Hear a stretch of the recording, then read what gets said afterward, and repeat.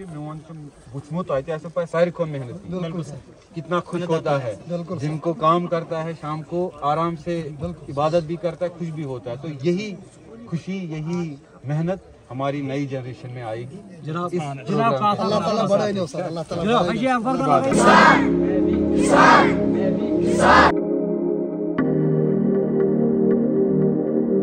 नाजरीन वालेकुम हम इस वक्त क्रियाल इलाके में जो कि अनंतनाग डिस्ट्रिक्ट में पड़ रहा है। नाजरीन, आपको बताऊँ कि यहाँ पे एक आज डिस्ट्रिक्ट एडमिनिस्ट्रेशन, हमारे जो वर्दी डिप्टी कमिश्नर है, सईद फखरुद्दीन हामिद साहब ने एक अच्छा इनिशिएटिव लिया है कि मैं भी किसान नाजरीन, इस इनिशिएटिव के पीछे मकसद क्या है कि हमारा जो यूथ है, हमारा सारा जो यूथ है, वो कहीं ना कहीं एग्रीकल्चर से डिस्कनेक्ट हो गया है।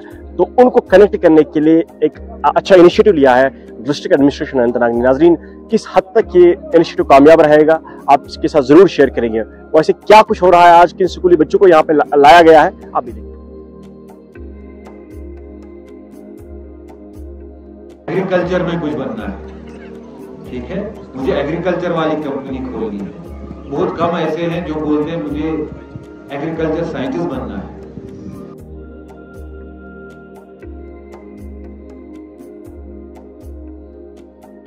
क्यों ना आपका एक विज़िट हो जाए खेत में डायरेक्ट जहाँ जहाँ पे आप देखोगे कि खेती बाड़ी कैसे होती है, इसमें टेक्नोलॉजी नई कौन सी आई है, पुराने तरीके कौन से हैं, सिंचाई कैसे होती है, जो हमारे पौधे का जो सीड है, वो कैसे लगाना होता है, फ़सल कटाई कैसे होती है, ये सब आपको प्रैक्टिकल एक्सपोजर मिले तो आज हम आपके स्कूल से स्टार्ट कर रहे हैं। और जब हमें पता चला कि सबसे होशियार और तेज बच्चे कहाँ पे हैं,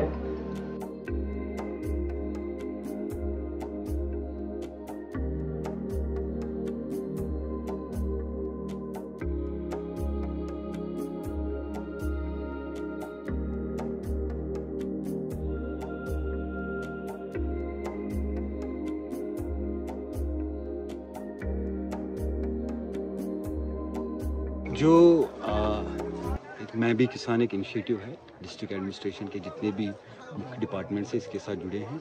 इसका मेन मकसद यही है कि जो हमारे बच्चे हैं यूथ्स है, वो एग्रीकल्चर के साथ रिकनेक्ट हो, वो फ़ील्ड एक्सपोजर उनका हो और ये गाइडेड फ़ील्ड एक्सपोजर हो, जिसमें एग्रीकल्चर की टीम उनके साथ रहेगी, अपने स्कूल के जो उनके लोग हैं टीचर है, वो उनके साथ रहे और वो फ़र्स्ट हैंड एक्सपीरियंस ले कि खेती बाड़ी कैसे होती है। हमारा जो किसान है एरिया का वो कैसे traditional as well as modern equipments methods और टेक्नोलॉजी को यूज़ करके अपनी पैदावार बढ़ा रहा है। क्या क्या स्टेजेस आते हैं जो वो किताबों में पढ़ते हैं वो ग्राउंड पे इम्प्लीमेंट कैसे होता है? इसका मेन मकसद जो हमारा कराने का है अगर आप भी एक जी जी। एक स्टडी कराएँगे या देखेंगे तो जब भी किसी नौजवान बच्चे बच्ची से पूछा जाता है कि आगे क्या बढ़ना है बनना है स्पेशली स्टूडेंट्स को तो आप कोई बोलेगा आई बनना है कोई बोलता है क्रिकेटर बनना है कोई डॉक्टर कोई इंजीनियर लेकिन बहुत कम बच्चे ऐसे हैं जो बोलते हैं कि हमें एग्रीकल्चर या कृषि विज्ञान में या कृषि शोबे में या अलाइड सेक्टर्स में आगे कुछ बनना है। एग्रीकल्चर रिलेटेड स्टार्टअप्स करने हैं एग्री बिज़नेस में जाना है एग्री एंटरप्रेन्योर बनना है, या एग्रीकल्चर साइंटिस्ट बनना है। तो हमें लगा कि कहीं ना कहीं एक डिस्कनेक्ट है, इससे हमारा यूथ जो है वो वापस कनेक्ट हो जाएगा। दूसरा, इस प्रोग्राम के तहत हमारे सारे स्कूल्स और कॉलेजेस के बच्चों का हर तीन महीने में एक बार फ़ील्ड एक्सपोजर होगा, विज़िट होगी, जिसमें हमारी उस स्कूल की या उस एस्टेब्लिशमेंट की टीम होगी साथ, और साथ में हमारी जो एग्रीकल्चर डिपार्टमेंट के जो ग्राउंड लेवल फंक्शनरीज उनको कंपनी करेंगे, ताकि ये चाहे प्रोग्रेसिव फार्मर्स है, चाहे नए यूनिट्स है, चाहे जो हमारा किसान है, उससे मिले, उसका रियल टाइम में देखे कि कैसे काम होता है, उसकी एक्सपीरियंस से सीखे। क्योंकि मुझे, मेरा मानना है, और आप ये, आप भी मुझसे एग्री करेंगे कि किसान सबसे मेहनती तबका है, ये जिसको बोलते हैं कि मिट्टी से अनाज निकालता है, जिससे पूरी जो सोसाइटी है समाज फ़ीड होता है, और ये इकॉनमी की बेसिस है।